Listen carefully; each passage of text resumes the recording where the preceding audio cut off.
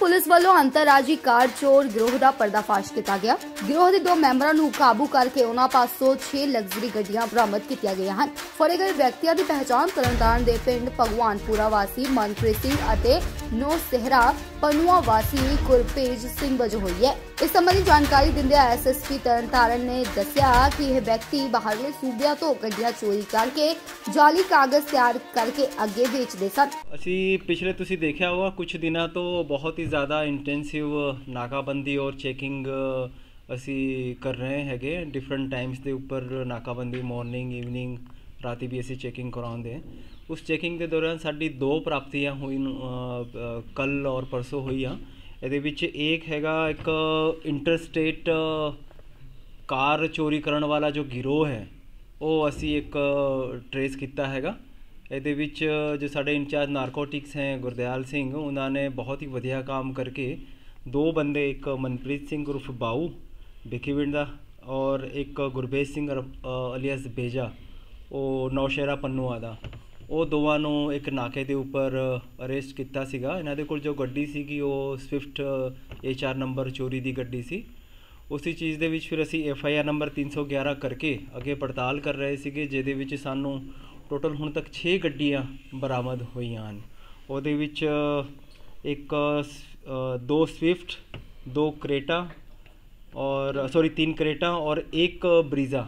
ਇਹ 6 ਗੱਡੀਆਂ ਰਿਕਵਰ ਹੋਈ ਹੈ ਔਰ ਹੁਣ ਅੱਗੇ ਇਹਨਾਂ ਨੇ ਜਿੱਥੇ ਗੱਡੀਆਂ ਰੱਖੀ ਹੋਈ ਹੈ ਜਾਂ ਜਿੱਥੇ ਤੋਂ ਲੈ ਕੇ ਆਉਂਦੇ ਸੀ ਉਹਦੇ ਬਾਰੇ ਸਾਡੇ ਐਫਰਟਸ ਚੱਲ ਰਹੇ ਹਨ ਔਰ ਸਾਨੂੰ ਉਮੀਦ ਹੈ ਕਿ ਹੋਰ ਵੀ ਗੱਡੀਆਂ ਰਿਕਵਰ ਹੋਣੀਆਂ। ਸਰ ਕਿੰਨੇ ਬੰਦੇ ਥੇ ਜੇ ਲੁੱਟ ਕੋ ਗਰੋ ਕਾਬੂ ਇਹ ਟੋਟਲ ਇਹਦੇ ਵਿੱਚ ਸਾਡੀ ਹੁਣ ਤੱਕ ਦੀ ਇਨਫੋਰਮੇਸ਼ਨ ਦੇ ਮੁਤਾਬਿਕ 4 ਬੰਦੇ ਹੈ। ਅਸੀਂ ਇਹਨਾਂ ਦਾ 3 ਦਿਨ ਦਾ ਰਿਮਾਂਡ ਲਿਆ ਹੈ ਔਰ ਰਿਮਾਂਡ ਦੇ ਵਿੱਚ ਅਗਰ ਕੋਈ ਹੋਰ ਬੰਦੇ ਦੀ ਸਮੂਲੀਅਤ ਸਾਹਮਣੇ ਆਉਂਦੀ ਹੈ ਤਾਂ ਅਸੀਂ ਉਹ ਵੀ ਬੰਦਾ ਫਿਰ ਨੋਮੀਨੇਟ ਕਰਾਂਗੇ ਕੇਸ ਦੇ ਵਿੱਚ। ਕਾਬੂ ਕੀ ਆਪਨੇ ਇਹਦੇ ਵਿੱਚ ਅਸੀਂ ਦੋ ਬੰਦੇ ਫੜੇ ਹੈਗੇ ਇੱਕ ਮਨਪ੍ਰੀਤ ਸਿੰਘ ਔਰ ਇੱਕ ਗੁਰਬੇਜ ਸਿੰਘ ਅਲਿਆਸ ਬੇਜਾ। ਦੋ ਬੰਦੇ ਅਸੀਂ ਅਰੈਸਟ ਕੀਤੇ ਹਨ ਦੋ ਬੰਦੇ ਜੋ ਬਾਕੀ ਹੈਗੇ ਉਹਦੇ ਚ ਇੱਕ ਪਰਮਿੰਦਰ ਸਿੰਘ ਔਰ ਗੋਰਾ ਹੈਗਾ ਇੱਕ ਭੁਪਿੰਦਰ ਸਿੰਘ ਅਲਿਆਸ ਬਿੰਦਾ ਹੈ। ਸਾਰੇ ਦੋ ਗੱਡੀਆਂ ਕਿੱਥੋਂ ਬੰਦੇ। ਦੀਆਂ ਬੈਗ ਜਿਹੜੀਆਂ ਹੋਈਆਂ?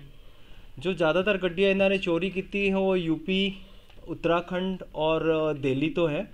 ਐਂਡ ਇਹ ਜੋ ਹੁਣ ਅਸੀਂ ਪਹਿਲੇ ਫੜੀ ਸੀਗੀ ਉਹ HR ਨੰਬਰ ਹੈ।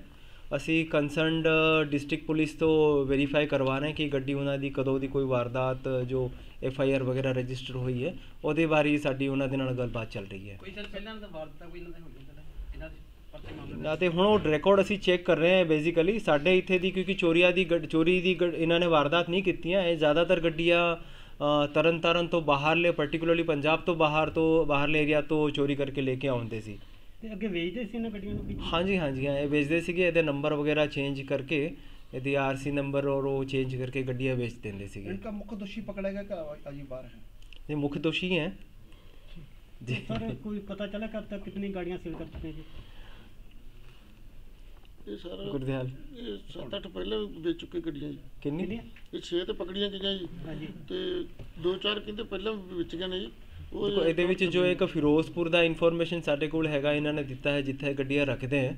ਉੱਥੇ ਸਾਡੀ ਪੜਤਾਲ ਹੋਣੇ ਚੱਲ ਰਹੀ ਹੈ। ਉੱਥੇ ਤੋਂ ਵੀ ਸਾਨੂੰ ਗੱਡੀਆਂ ਰਿਕਵਰ ਹੋਣ ਦੀ ਉਮੀਦ ਹੈ।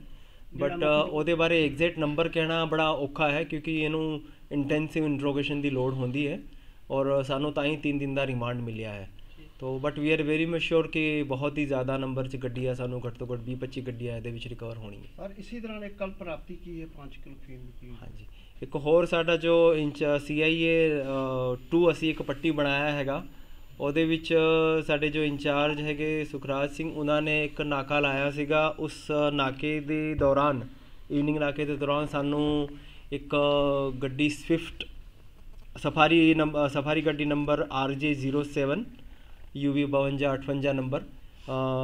Gurdwara Achhar Singh ਦੇ ਨੇੜੇ ਸਾਨੂੰ ਮਿਲੀ ਸੀਗੀ। ਉਹਨਾਂ ਨੂੰ ਜਦੋਂ ਚੈਕਿੰਗ ਵਾਸਤੇ ਅਸੀਂ ਰੋਕਿਆ, ਤੋ ਉਹ ਗੱਡੀ ਸ਼ੱਕੀ ਲੱਗੀ। ਉਹਨਾਂ ਨੂੰ ਅਸੀਂ ਐਸ ਪਰ ਜੋ ਐਨਡੀਪੀਐਸ ਐਕਟ ਦੀ ਪ੍ਰੋਵੀਜ਼ਨਸ ਹੈ ਕਿ ਜਦੋਂ ਸ਼ੱਕ ਹੋਵੇ ਔਰ ਉਹ ਕੋਈ ਜੋ ਸਾਡੀ ਪੁਲਿਸ ਪਾਰਟੀ ਉਹਦੇ ਤੋਂ ਚੈੱਕ ਨਾ ਕਰਾਣਾ ਹੋਵੇ, ਤਾਂ ਕੋਈ ਜੀਓ ਉਹ ਬੁਲਾ ਸਕਦੇ ਆ। ਉਹਨਾਂ ਨੂੰ ਇਹ ਪ- ਮਤਲਬ ਇੱਕ ਕੀ ਕਹਿੰਦੇ ਲੀਗਲ ਰਾਈਟ ਹੈਗਾ। ਤੋ ਉਹ ਕਰਕੇ ਅਸੀਂ ਜੋ ਸਾਡੇ ਡੀਐਸਪੀ ਨਾਰਕੋਟਿਕਸ ਹੈ ਸੁਖਦੀਪ ਸਿੰਘ, ਉਹਨਾਂ ਨੂੰ ਅਸੀਂ ਉੱਥੇ ਮੌਕੇ ਪਰ ਭੇਜਿਆ ਸੀਗਾ। ਔਰ ਇਹਨਾਂ ਦੀ ਜੋ ਚੈਕਿੰਗ ਕੀਤੀ ਗਈ ਸੀ, ਉਹਦੇ ਵਿੱਚ ਦੋਵਾਂ ਤੋਂ 2.5 ਕਿਲੋ ਦੇ ਅਫੀਮ ਦੇ ਪੈਕੇਟ ਬਰਾਮਦ ਹੋਏ ਸੀ। ਇਹਦੇ ਜੋ ਧੀਰਜ ਸਿੰਘ ਹੈ, ਉਹ ਦੋਵੇਂ ਬੰਦੇ ਬੁੰਦੀ ਰਾਜਸਥਾਨ ਦੇ ਹੈ, ਧੀਰਜ ਸਿੰਘ ਔਰ ਮਨਦੀਪ ਸਿੰਘ। ਔਰ ਧੀਰਜ ਸਿੰਘ ਦੇ ਖਿਲਾਫ ਜੋ ਟੈਲੀਫੋਨਿਕ ਕਨਵਰਸੇਸ਼ਨ ਉੱਥੇ ਲੋਕਲ ਪੁਲਿਸ ਨਾਲ ਹੋਈ ਹੈ, ਉਹਦੇ ਮੁਤਾਬਿਕ 6 ਪਰਚੇ ਰਜਿਸਟਰਡ ਹੋਏ ਨੇ। ਅਬ ਕੀ ਕਾਰਵਾਈ ਕੀਤੀ ਜਾ ਰਹੀ ਹੈ ਅਸੀਂ ਇੱਕ ਤੋਂ ਬੁੰਦੀ ਜਿਸ ਬੰਦੇ ਤੋਂ ਇਹ ਲੈ ਕੇ ਆਏ ਸੀਗੇ ਉਹ ਬੰਦੇ ਬਾਰੇ ਪੜਤਾਲ ਕਰਕੇ ਸਾਡੀ ਟੀਮ ਉੱਥੇ ਭੇਜਾਂਗੇ ਤੇ ਉਹ ਬੰਦੇ ਨੂੰ ਫੜ ਕੇ ਲੈ ਕੇ ਆਵਾਂਗੇ ਔਰ ਜਿੱਥੇ ਇਹਨਾਂ ਨੇ ਸਪਲਾਈ ਕਰਨੀ ਸੀਗੀ ਉਹ ਬੰਦੇ ਦੇ ਉੱਪਰ ਅਸੀਂ ਹੁਣ ਲੱਗੇ ਹੋਏ ਹਾਂ ਫੜਨ ਵਾਸਤੇ। ਤਰਨਤਾਰਨ ਤੋਂ ਸਰਬਜੀਤ ਸਿੰਘ ਦੀ report. Press the bell icon for news updates.